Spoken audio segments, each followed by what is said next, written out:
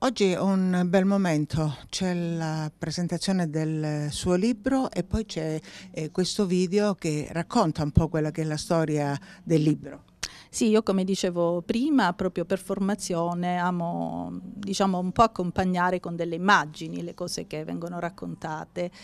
E siccome nel mio libro si raccontano una serie di luoghi con un filo conduttore comune, che è eh, diciamo una riscoperta della figura di Mattia Preti ed il percorso di crescita di un adolescente, ci sono questi due fili che si intrecciano in qualche modo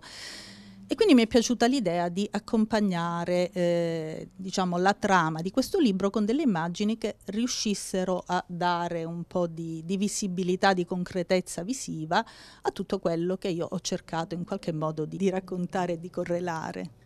Ecco, oh, questi due temi che si intrecciano nel libro sono una riflessione per i giovani? In qualche modo sì perché diciamo che appartiene alla categoria del romanzo di crescita, si parla di un adolescente che attraverso l'arte, attraverso diciamo, la scelta di un percorso anche di studio artistico,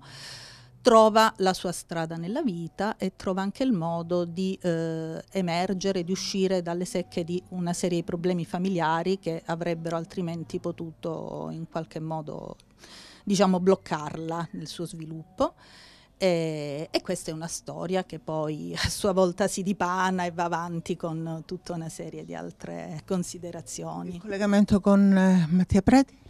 Il collegamento Mattia, con Mattia Preti è un po' un mistero, un mistero che spinge questa ragazza ad andare avanti nella sua formazione